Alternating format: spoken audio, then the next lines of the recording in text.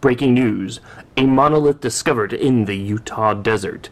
Nobody knows what it is, but I figured it out. Stay tuned, we're going to talk about it here on Crazy Talk. Roll the intro.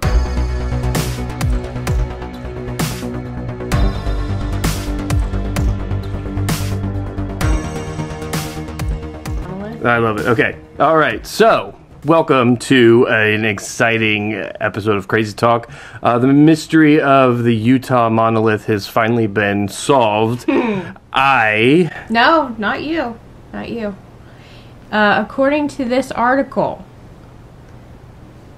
according to this article that I read, it says that they have partially figured it out. Partially figured it out. They know its location.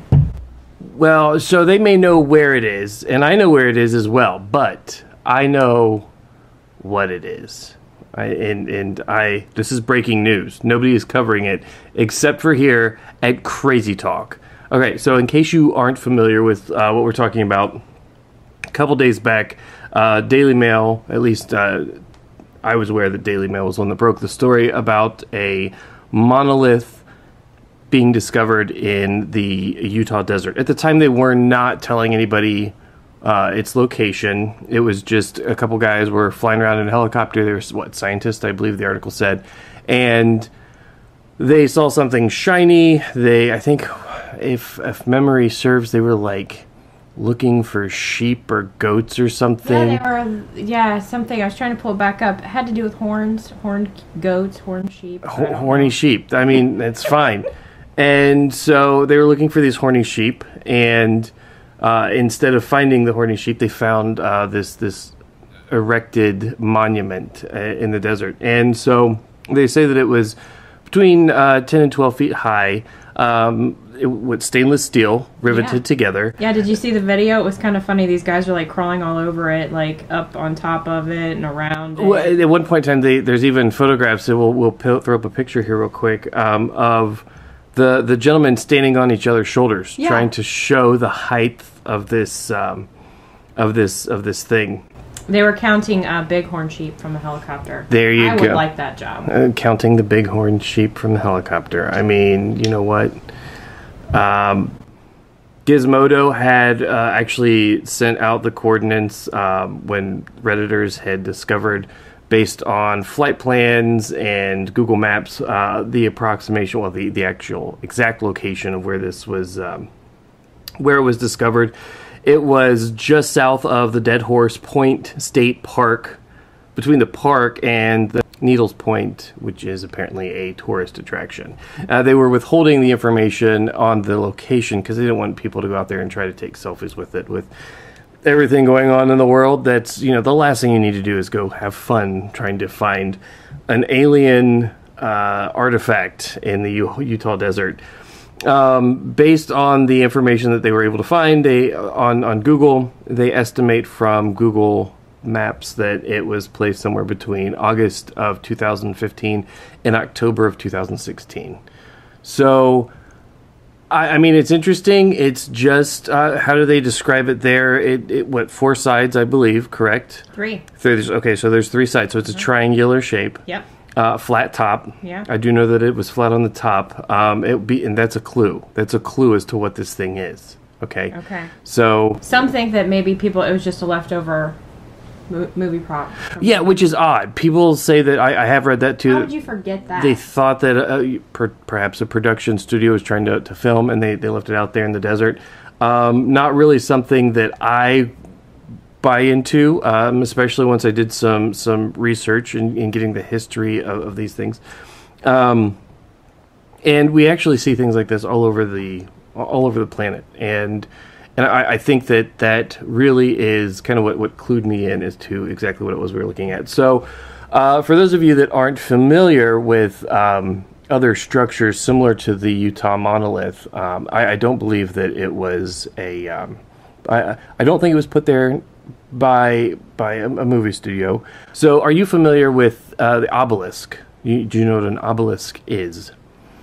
Okay, so these are um, long structures uh, that that just protrude out of the ground. The um, You, you see them all over the world. They have them in, in London. We have one um, in Washington D.C. The uh, George Washington Monument is is an obelisk. It's just this towering structure, and then on top of it, you have um, a pyramid, and that's kind of like the the calling card.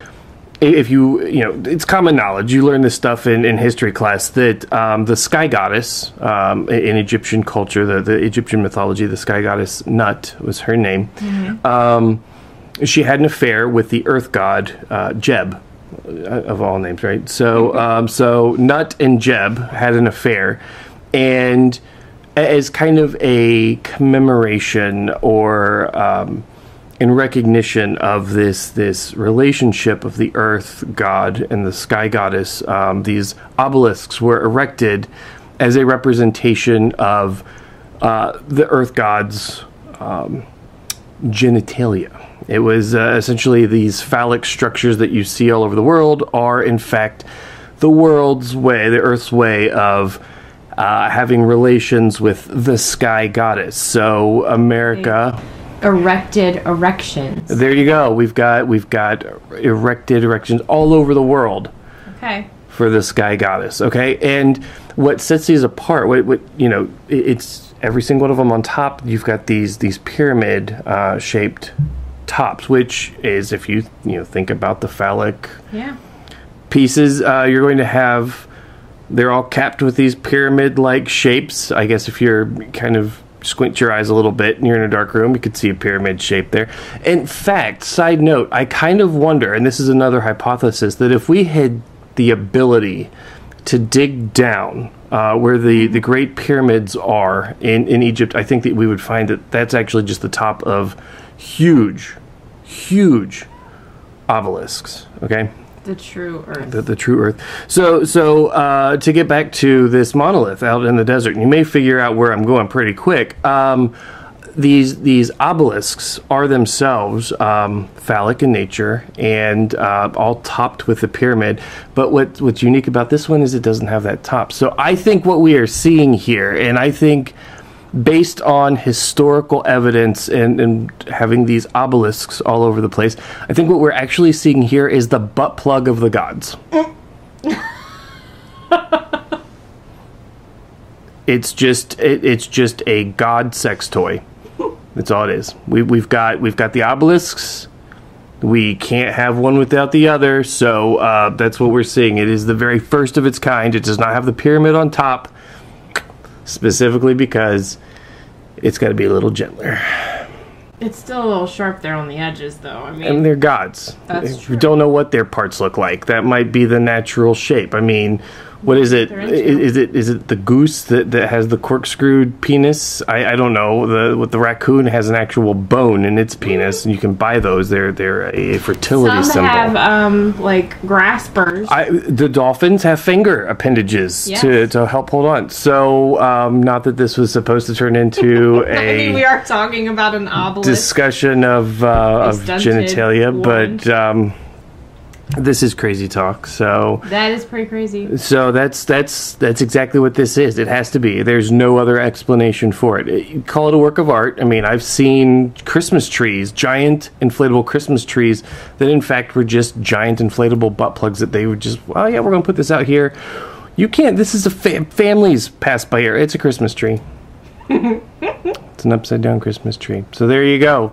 It is the Utah monolith is nothing more than the butt plug of the gods. This has been Crazy Talk. Until next time, stay crazy.